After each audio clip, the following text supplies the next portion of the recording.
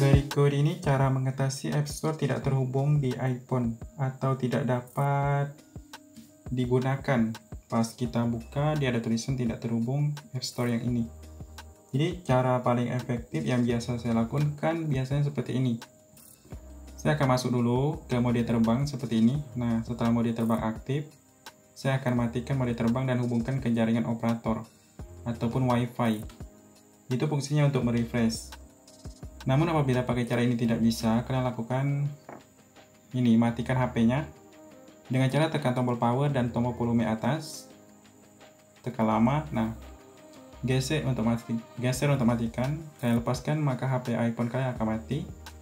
Setelah HP iPhone-nya mati, lalu kalian hidupkan lagi.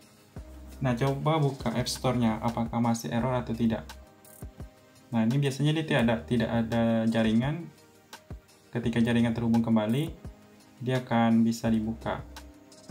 Kemudian pastikan jaringan yang kalian gunakan baik WiFi atau operator ada kuota ya atau akses internet. Kalau tidak ada akses internet memang tidak bisa seperti tadi. Jadi itu beberapa cara yang bisa kalian lakukan. Kalau kalian masih tidak bisa juga coba dari WiFi pakai jaringan operator, dari operator pakai WiFi. Biasa seperti itu bisa.